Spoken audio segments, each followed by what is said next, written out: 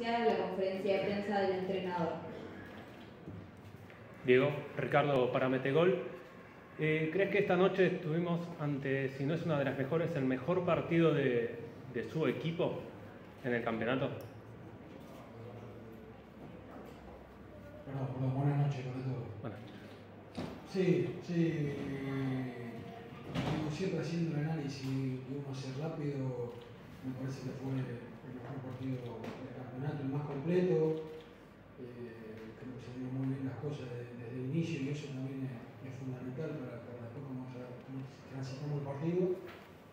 Y después un montón de sensaciones positivas que tienen que ver con el juego, con, con lo que buscamos, eh, con, con el ganar de esta manera de local y sobre todo, más allá de la forma, eh, ya meternos en esta etapa del campeonato, seguir estando ahí arriba en la tabla. ¿no? Diego, ¿cómo te va? Daniel Noriega para amigos de Huracán y Primeros del Sur. Bueno, hoy Huracán cumplió con las tres G. Ganó, gustó, volvió. Eh, ¿Es el Huracán que, que soñás, que pretendés, el que vimos hoy con la pelota al piso y no recurrir a ese pelotazo? A veces se tiene que recurrir. Eh, eh, este Huracán que juega al fútbol, eh, que hoy jugó al fútbol realmente, que gustó a todos, ¿es el, Huracán que soñás? Sí, eh, es el huracán que buscamos. Después, dentro de, la faceta que va entregando el juego, aparece el, el juego directo, porque tenemos la característica de los jugadores para hacerlo, aparece el juego por abajo.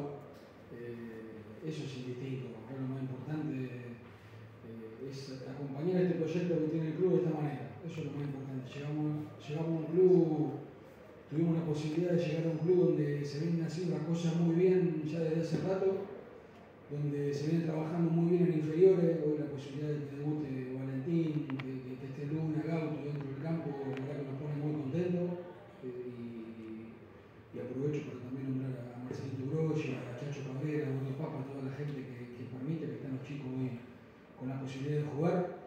Eh, y lo más importante es eso, después vamos a convivir con ganar, con perder, con empatar, pero tenemos muy clarito entre todos lo que queremos eh, para más adelante en el club. Después obviamente el, el- el buscar a todo esto, estando tercero, jugando de esta manera, muchísimo mejor. Pero los pies sobre la tierra, eh, seguir trabajando, mañana otra vez a las 9 arrancamos una temita y a pensar en el martes. ¿Qué tal, Diego? Buenas noches, Leandro Sánchez en vivo para Dar Huracán. Bueno, tener los pies sobre la tierra, yo justamente te consulto, ya fecha número 13, hoy la gente se fue contenta e ilusionada, ¿no? Corren los partidos, Huracán sigue ahí en el pelotón de arriba. ¿Para qué está el Huracán de Diego de Boer? Para eso, para eso, partido a partido cositas al equipo. Eh, es un equipo que desde que empezamos ha ido creciendo de a poquito, eh, partido a partido. En algunos se evoluciona más, en, en otros no tanto, pero normal en un torneo de, tanta paridad y tanta intensidad como el fútbol argentino. Pero lo más importante es que esa identidad que intentamos generar eh, aparece en cada uno de los partidos. Como, como digo ahora, cuando gana, todo se relativiza mucho más y, y acompañar este crecimiento con este tipo de partidos como el de esta noche, la verdad que me pone muy contento porque la verdad que el grupo se lo merece, se lo merece eh, hace un esfuerzo enorme los muchachos eh, y, el que se vean eh, en esta situación en la tabla, el, el- poder haberle regalado a la gente un partido como el de hoy, eh, es fundamental. Diego, ¿cómo estás? María Varela para Equipo 10. Te quiero hacer dos consultas. La primera acerca de que escuché a algunos hinchas que decían que después de mucho tiempo se respetó la esencia de Huracán. Eh, eh, el toque, la distribución de la pelota y, que eso, bueno, es más que un halago, me imagino, para vos como entrenador. Y después de tantos halagos, si hubo algo que realmente al entrenador Huracán no le gustó del equipo. Bueno, eh, Mari, buenas noches. Eh, capaz que lo, lo que no me gustó eh, tiene que ver con, con- con el gol. Eh, en un partido que estaba controlado nos encontramos con, con- con un empate que con un rival como Lo, pudimos haber sufrido de otra manera, de no haber estado fino. Después, la verdad que más allá de lo que buscamos, el, el protagonismo y la personalidad del equipo, eh, uno sabe que es lo que está, la gente, el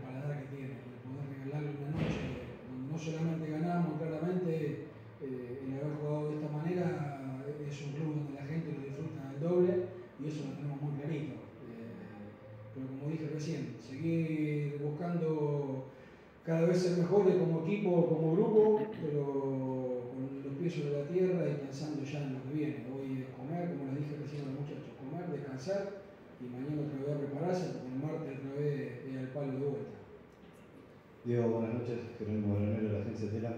Te quería consultar eh, si te, te sorprende o, o, o, qué sentís cuando ves un jugador como, como Cristaldo eh, que está en este nivel, a pesar de lo, de lo que se habló tanto en estos días, eh, está en un nivel altísimo. Bueno, sorprenderme, más, que sorprenderme, hoy me toca disfrutarlo. Me había tocado enfrentarlo y sufrirlo, hoy, me toca tenerlo en el día a día y eh, la verdad que Franco está en un nivel espectacular.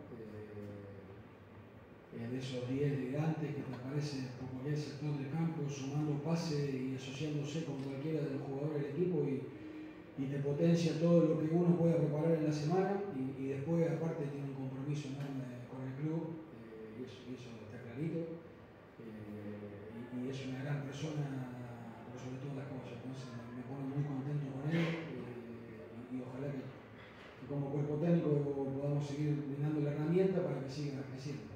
Diego, la semana pasada valoraste el triunfo con Aldo Civi, dijiste que era fundamental, los tres puntos como fuera, más allá de que fuiste autocrítico con el rendimiento que tuvo el equipo. ¿Por qué crees que cambió tanto la versión de Huracán de una semana a la otra? Yo, yo creo, Brian, que se dan, se dan esos partidos. El, el, partido pasado lo dijimos, lo hemos hablado en la interna, eh, fue un partido que sabíamos que necesitábamos ganar, eh, como sea. Sería un partido feo, trabado, donde siempre lo fuimos a buscar, pero donde no, no tuvimos la calidad necesaria y nos llevamos tres puntos clave. Eh, lo, doy ya el, el, cómo tenía que tener otro condimento, había, que llenarlo, el cómo. Eh, hoy, no se podía ganar como se podía, necesitaba otro tipo de cosas para ganar, porque sabemos que era un rival también muy complejo, muy complicado. Me parece que el, el equipo hizo un partido completísimo en un montón de aspectos que son fundamentales del juego.